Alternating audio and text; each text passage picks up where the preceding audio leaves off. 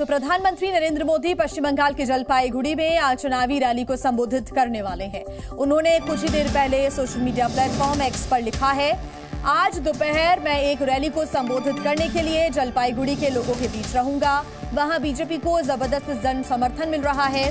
तो वहीं पश्चिम बंगाल की जनता टीएमसी के भ्रष्टाचार और कुशासन से तंग आ चुकी है, ये भी लिखा उन्होंने साथ ही लिखा है कि उनके सपनों को केवल भाजपा ही पूरा कर सकती है। यानी कि बंगाल की जो जनता है, उनके जो सपने हैं, उनको केवल भाजपा ही पूरा कर सकती है। आज पश्चिम बंगाल के दौरे पर रहेंगे प्रधानमंत्री नरेंद्र मोदी। जलपाईगुड़ी में जाकर यहाँ पर जनसभा को संबोधित करेंगे।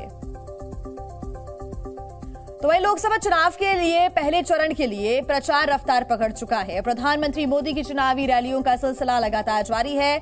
400 पार का लक्ष्य पाने के लिए पीएम मोदी, बीजेपी और एनडीए उम्मीदवारों के समर्थन में लगातार सभाएँ भी कर रहे हैं। आज भी पीएम मोदी धुआंधार कैंपेनिंग करने वाले हैं। तीन राज्यों में जनसभा और रोड शो के ज़रिए वोट मांगेंगे। तो ये तीन तस्वीरें आपके सामने, तीन राज्यों में आज प्रधानमंत्री पहुँचेंगे। नवादा प्रधानमंत्री पहुँचेंगे, जहाँ पर चुनावी जनसभा को संबोधित करेंगे, फिर जलपाईगुड़ी पहुँचेंगे और उसके बाद मध्य प्रदेश के जबलपुर। यहाँ पर उनका मेगा रोड शो होगा।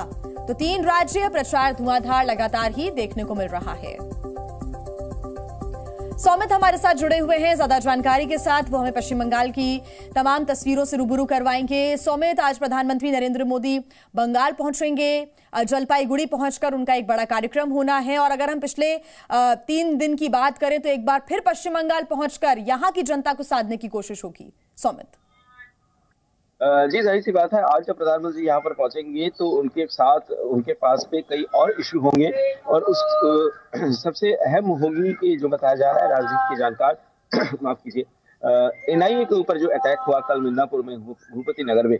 और जैसे मैं पहले भी बता रहा था कि 24 घंटा हो चुका है, किसी की भी गिरफ्तारी नहीं हुई, जबकि वीडियो फुटेज भी है किस तरह से एनआईए की टीम के सामने वो लोग लाठी लेकर, बाँस लेकर वो लोग खड़ी थे।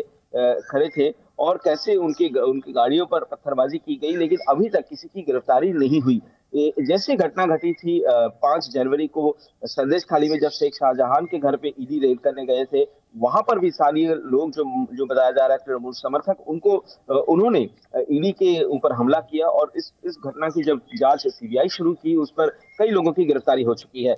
कल की घटना के बाद जब आज प्रधानमंत्री जिस, जिस वक्त प्रधानमंत्री पश्चिम बंगाल के जलपाईगुड़ी में सभा करेंगे उसी समय तृणमूल कांग्रेस के एक प्रतिनिधि दल भूपति नगर में उन गिरफ़्तार हुए नेताओं के घर पे जाएँगे और उनके परिवार को अपना समर्थन देंगे क्योंकि कल ही ममता बनर्जी बता दी थी कि एनआईए बीजेपी का एजेंट होकर वहाँ पर गई थे गए थे क्योंकि बीजेपी के पास संगठन नहीं है बंगाल में इसीलिए वो ऐसा कर रहे हैं। लेकिन बीजेपी का कहना है कि बीजेपी का संगठन कितना स्ट्रांग है यहाँ पर। वो 2019 के चुनाव के नतीजे ही खुलकर बताया है। फिर 2021 में भी तीन विधानसभा विधायक से सतहत्तर तक बीजेपी अपने दम पर पहुँची है और हम्म। उसी को काम पे लगाने के लिए प्रधानमंत्री का ये दूसरा दौरा है और, और इस दौरे के, के दौरान आज की जनसभा के दौरान की किन बातों का ज़िक्र करते हैं इस पर हमारी नज़र आएगी।